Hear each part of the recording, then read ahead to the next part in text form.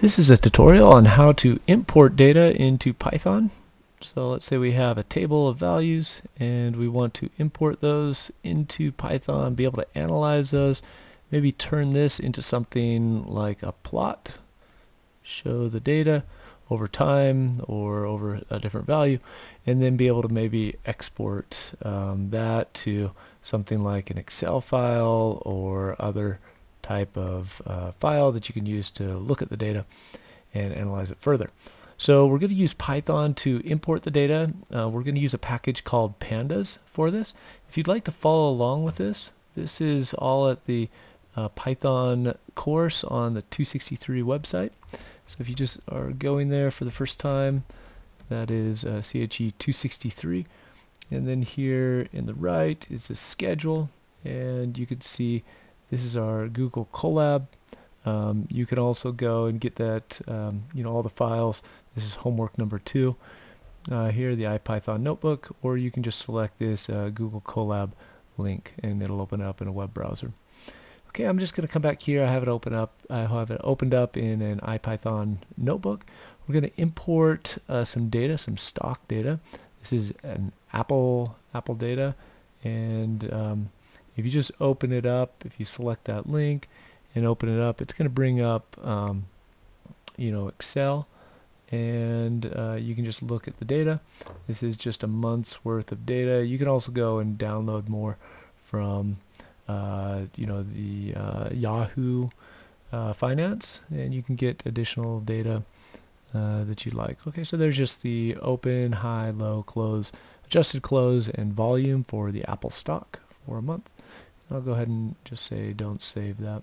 Because what we're going to do is we're going to just copy this link and we are going to import pandas as PD and then we want to have our data I'm going to call this Apple um, is going to be PD and then read uh, CSV and then there's our URL okay so I'm going to run this and it's going to read uh, the data into the Apple uh, variable now. Okay, so we want to look at this. I'll just do Apple head, and that will give us a table uh, similar to what we saw in Excel. It just uh, is going to format it here in the IPython notebook. And those are the first leading five rows. If we wanted to switch that to seven rows, I could just put a seven there. If you just leave that uh, blank, it'll go back to five as a default.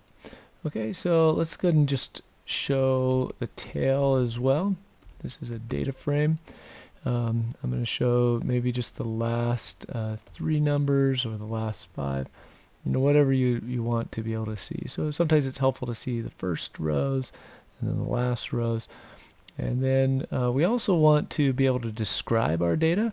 And just some simple and common analysis uh, is going to be performed by uh, just the dot describe function.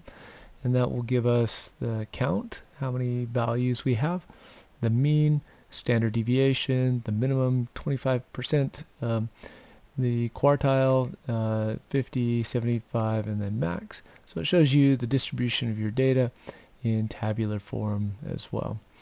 Okay so you can also use uh, you know the built-in max min and then if we also uh, wanted to import NumPy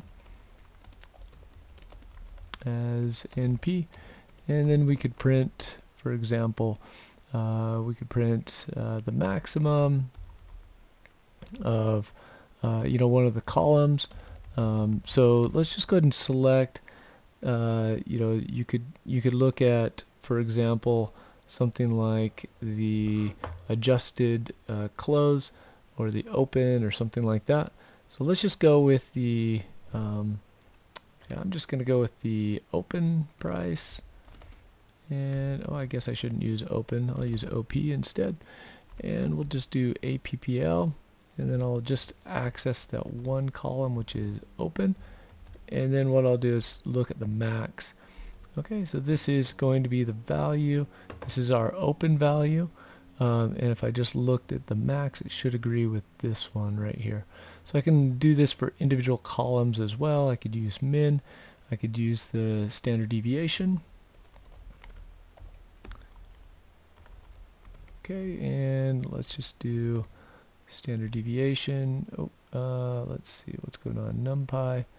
Uh, I think it's just std. Okay, for standard deviation, and then that should agree. Looks like it's calculated just a little bit differently than uh, the descriptive statistics. Sometimes there's a like the you have minus one or the not minus one in the denominator for the n minus one. Uh, so sometimes there's just a little bit of a difference based on how you're calculating things like uh, some of the statistics. Okay, so um, anyway, you can do that for other ones as well. Um, you know, you can get, uh, you know, calculate these yourself. Uh, for example, median is not included in this, but let's say you wanted the median of this as well. Median Okay, so there's our median value. Okay, so there's some additional descriptive statistics that you can use uh, with NumPy. Okay, now we want to be able to create a time series plot um, using the stock high, low, and open price for each day. And I'm just going to use, I'm going to copy something in um, uh, just to be able to show this. Um, so I'm going to have matplotlib inline.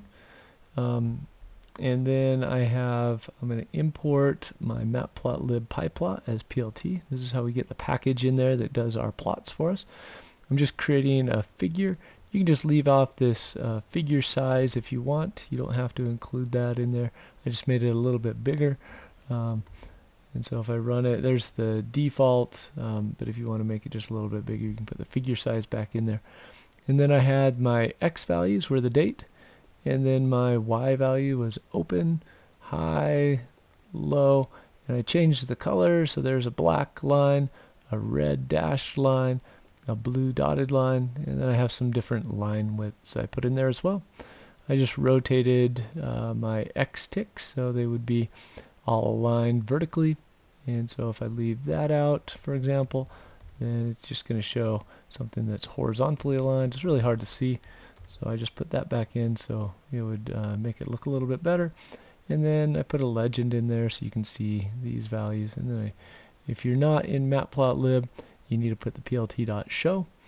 Or sorry, if you're not in um, Jupyter Notebook, and this is only required for the Jupyter Notebook as well. I just put both of those in there just in case you're uh, dealing with IDLE or a text editor or some other environment besides an IPython notebook. Okay, so let's go on down. Uh, this was a demonstration of how to import data. Uh, we're going to do this for a couple additional uh, stocks as well. In this case, we're going to do it for Google and then for ExxonMobil as well. And again, you're welcome to go and uh, get uh, that data yourself. So if I did Google, I would just do uh, pd.read CSV and then I can just put in this uh, link right here okay and then I can do the same thing for ExxonMobil. I'm just going to call these data frames uh, something else. So I don't overwrite that. And I'll just change this link. Okay so I've imported the data. Let's just show the first uh, few uh, okay first seven rows. Okay, there's Google. If I want to insert another cell, I just insert a cell below. And then I can look at the ExxonMobil data as well. Okay, so there are the dates and the open, high, low, close, adjusted close and volume. Okay, so uh, let's go and just describe our data. Um, I'll just do describe. There's the statistics, if you want to do that for Google as well. There are the statistics, statistics for Google. Okay, so now we want to divide by the close price because what we want to do is compare these two stocks maybe on a way, in a way that um, allows us to do just kind of a side-to-side -side comparison. Uh, and so we're going to normalize them. We're going to normalize it by the maximum value. And, um, you know, what we'll do on this one is, um, let's just go ahead and get the max value. So I'll just do max uh, Google um, and then I could just do something like np dot um, I could just do max and then this one is going to be GOOG and then I want my close price. Okay so let's just see what that equals. And I'm going to do a formatted string here. Okay the max uh, close price for Google is okay and then I can put in some uh, curly parentheses this is new in Python 3.6 and then I can just put mx uh, goog okay so there I have uh, I've just printed that but I've stored it as this as this variable. Let's go and do that same thing for the max for um, my other one as well ExxonMobil and there we have ExxonMobil as well. I've computed that, but I haven't printed it. Okay, so now we want to generate, um, we want to divide the close price by the maximum close price over the past month so the values are divided by the maximum value for that particular stock. And repeat this for both stocks so that the stock prices can be more easily compared on the same plot.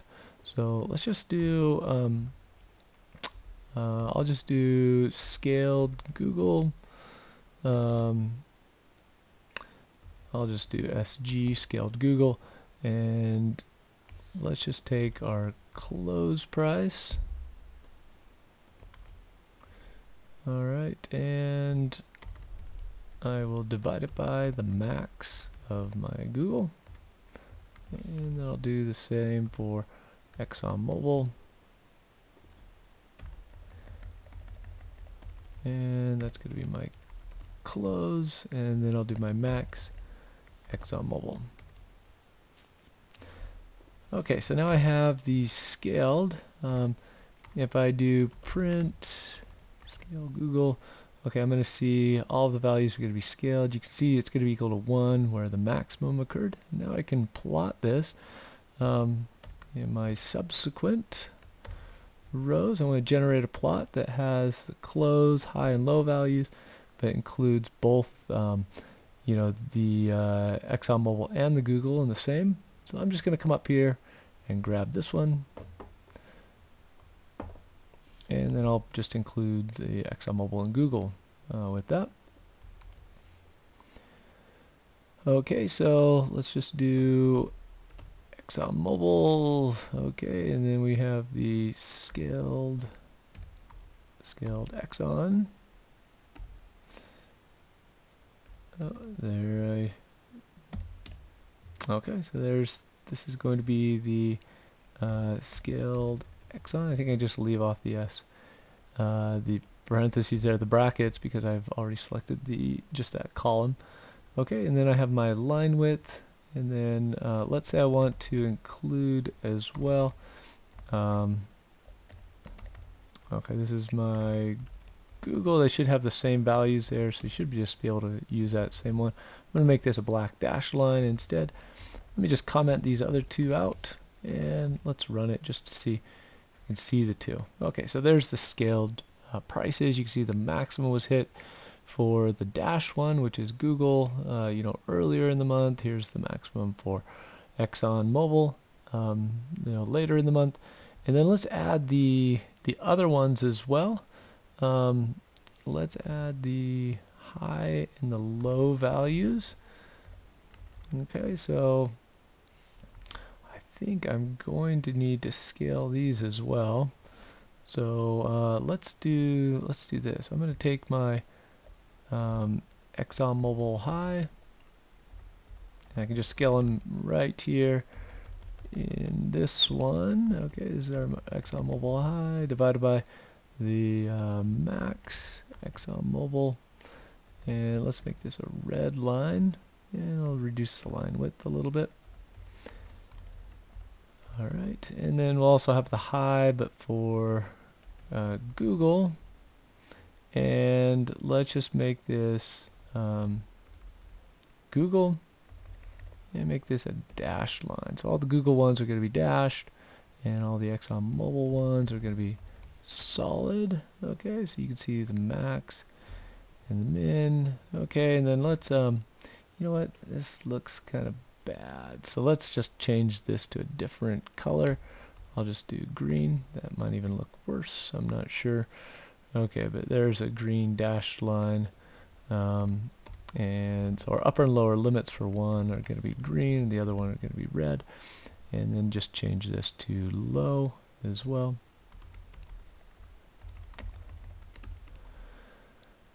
Okay, and I think that should give us our uh, regions there. The green are going to be associated with Google, and the red are going to be associated with ExxonMobil.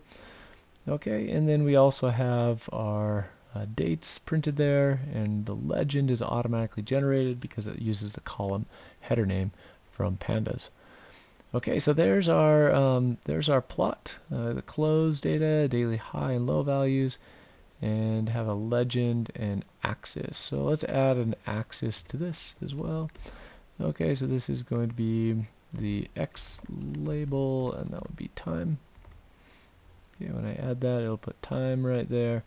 And then we could also do Y label, and this is the scaled price. Alright, so there it is, scaled price um, both equal to 1. So you can see the distribution, the open and close price, or sorry, the high and low price for the day, and then the close, uh, the close price as well. So let's save this um, as well. You can save this plot plt dot uh, save uh, save fig, and so we could do like uh, price uh, analysis dot png or something like that or you could do a JPEG as well. Okay um, I'm to save it as well as a JPG okay so when I uh, run this it's to save these locally to my um, let's just see if I have those in here. So here it is. I've got my uh, price and it doesn't look like it uh, generated correctly. Let's see what's going on with that. I think I need to do this get rid of the show uh, once I do the show. And let's see if I can do the save figure again.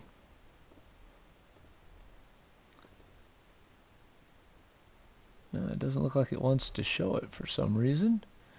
Okay um, let me just come back here. I'm going to paste these back up into this original uh, line here. Let's just see if that helps with being able to generate these. Ah, looks like we got more data there. Uh, so it looks like they need to be in the same cell. So there's our figure. You could paste that into you know, onto the web or on into a PowerPoint presentation or something like that. There's a JPEG and then a PNG version as well. If you're uh, doing something for like an academic journal, I do recommend something like EPS, and encapsulated PostScript, or uh, you could also do something like uh, you know other formats that are lossless. Um, those are going to look really good in uh, something like LaTeX uh, if you include it in there. Okay, so there's our uh, plot. Uh, just don't do the save fig down here. Just do it up in this cell. Okay, and then problem number two. There's already a video for this one if you'd like to go to uh, the course website and just under homework help here on the right and I'll post the solution videos uh, so here's the Python solution 2 on how to import data uh, again from pandas and generate a plot and I'll paste this uh, link to uh, this video here as well.